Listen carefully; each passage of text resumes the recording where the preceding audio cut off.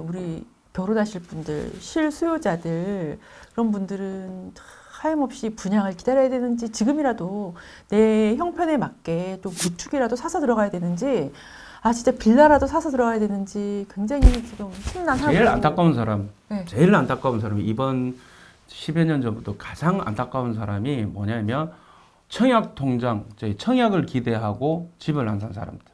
왜냐하면 무주택을 유지해야 되기 때문에 음. 네. 청약을 네, 못하죠. 통장을 점수를 유지하기 위해서 못했는데 그 사람들이 가장 박탈감이 심하고 그러니까 속상하죠. 어 가장 힘들. 그런데 그거는 정말 잘못된 거예요. 음. 물론 이제 아버지 때부터 뭐 청약 통장 있어가지고 상속 받아서 이렇게 가는데 점수가 뭐 70점 70점 되고 뭐 이러면 모르겠지만 뭐 야 오를까 말까 오를까 말까 이렇게 해서 좀 힘들어했던 저기 좀 이제 갈피를 못 잡아서 그렇게 에, 이제 이때까지 온 사람들은 또 그럴 수도 있긴 한데 이 현상을 몇 년 동안 다 지켜보면서도 아직까지도 청약해야 되겠다고 하는 사람들은 내가 봤을 때는 그분들은 물론 이제 이 지금 영상을 보는 사람들은 뭐 이런 생각 저런 생각을 다 가지고 있겠지만 집값 떨어질 것이다. 집값 떨어질 것이다. 집값을 떨어뜨릴 것입니다. 부동산을 무조건 잡을 것입니다. 라고 했는데 그 말을 믿었던 자신한테 그거는 화살을 돌려야 되는데 제가 계속 이야기하는 거지만 부동산 가격이 오르는 게 부동산의 가치가 올라서 오르는 게 아니라니까. 지금 전 세계가 돈을 얼마나 많이 풀고 얼마나 돈이 현금이 쓰레기가 된다면 당연히 엊그저께 우리가 몇몇년 전에는 밖에 나가면 5천 원짜리 밥이 있었지만 지금 5천 원짜리 밥이 없고 애들한테 옛날에 우리는 100원만 주면 감사합니다 큰아버지 했는데 지금 만 원짜리 주면 애들이 째려본다니까? 5만 원짜리 줘야 된다 말이지. 근데 그거를 몸소 체험을 하고 지키면서 전세 가격이 그렇게 계속 올라오고 집히면서도 나는 죽어도 집값 떨어질 거야 무주택으로 살 거야. 이- 이거는 내가 봤을 때는 이거는 구제가 안 되는 거지. 그럼 어떻게 저는 내 우리 아들이 대학생들인데 하나 군대 갔고 얘네들 아버지 청약 통장 넣을까? 야 웃기는 소리야 그거 넣지 말고 전 청약 통장 안 넣는다니까 애들한테. 그래서 지금 실수요자나 우리 그 신혼 부부들 어떻게 해야 돼요? 지금이라도 해야죠. 지금이라도 살아. 네 사야죠. 그러니까 이게 뭘 사느냐의 문제잖아. 네, 그러니까요. 자기의 여력에 맞춰서. 뭐냐면 이런 거지. 그러면 이렇게 야 근로소득이 중요한 거지. 이렇게 집, 집 가지고 장난치면서 자본소득을 이루는 것은 나쁜 것이다. 뭐 이런 식으로 이야기를 하거든요 정말 알아야 될 게 뭐냐면 근로소득이 근로소득이 정말 그 존재의 가치가 있고 근로소득이 굉장히 이제 중요한 거는 맞는데요 근데 그 근로소득이 중요했던 건 언제냐면 농경 시대 때 우리 그때는 삽 들고 아침에 호미 들고 나가지 않으면 굶어 죽어. 그때는 노동소득이 굉장히 중요했던 거예요. 근데 지금은 AI가 다 해. 다 그러면 근로소득이 굉장히 중요하다면 지금 뭐야 그 우리 그 기계 파괴 운동이 옛날에 있었던 거하고 똑같이 있었던 상황이 되는 거예요. 그러면 롯데리아, 맥도날드의 키오스크 다 없애야 되잖아. 통행료 하이패스 다 없애야 되잖아. 그 기계 다 부셔야 되잖아. 이거는 대세적인 흐름이고 지난 200년 동안 200년 동안 논문으로도 다 검증이 된 게 근로소득보다 자본소득이 가격 더 많이 수익, 수익이 발생했다라는 거는 이미 이론적으로 다 검증이 된 건데 아직도 근로소득이 중요하고 또 나는 집 사면 안 돼.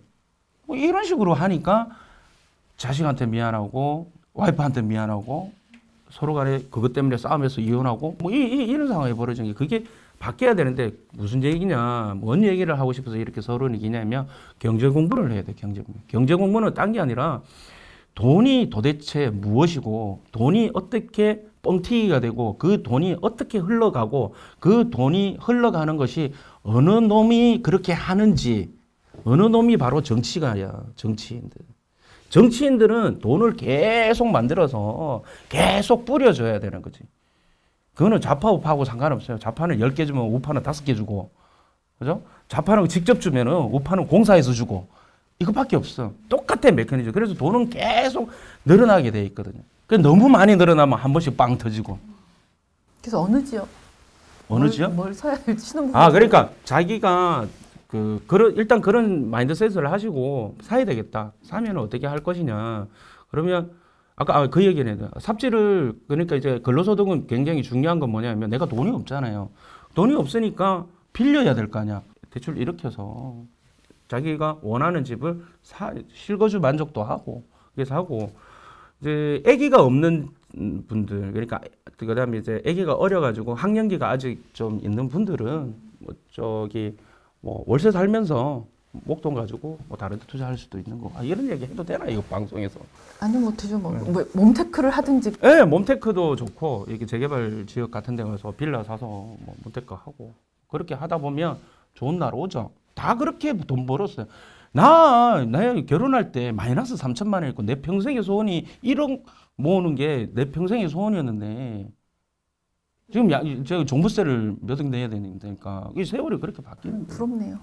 부러울 건 없고 뭐 몇십억 내시는 분도 많이 계실 건데 그러니까 이제 이, 사요 사는데 공부는 좀 해서 어, 일단 여러 가지 전략이 있습니다 예를 들어서 내가 월세 사면서 다른 지역에 투자하는 경우도 있고 아유 그럼 내가 월세를 어떻게 사냐 그래도 가오가 있어야지 그 내가 살고 싶은 동네에 아파트 사고 나는 말씀드렸는데 무조건 아파트 사라는 거 어, 그러고 이제 구축이라도 역세권 구축들 대단지는 괜찮습니다. 입지가 아주 매우 뛰어나지 않더라도 그 출퇴근이 가능한 곳 이제 역세권에서 뭐 기왕이면 서울 같으면 이제 강남 통과하는 거 3호선, 9호선, 7호선, 뭐 그다음에 신분당선 뭐 이런 것들. 부산 같은 경우에는 기왕이면 뭐 1호선, 2호선이 좋겠죠. 예, 예, 그- 그런 식으로 해서 그런 데가 역세권이라고 해서 다 역세권도 아니고 뭐 그렇게 해서 그런데 아파트 뭐 처음에는 돈이 작으니까 대출 내서 소형 아파트 어, 사고 그래서 비과세 받아서 또 일시적 이주택 비과세 트랙 받으시고 이런 식으로 해서 자산을 불려 나가고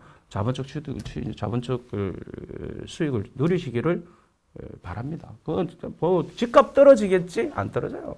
네. 아, 예. 오늘도 교수님의 이뼈아 때리는 끝난 거예요? 예, 뼈 때리는 말씀을 쭉 들었고요.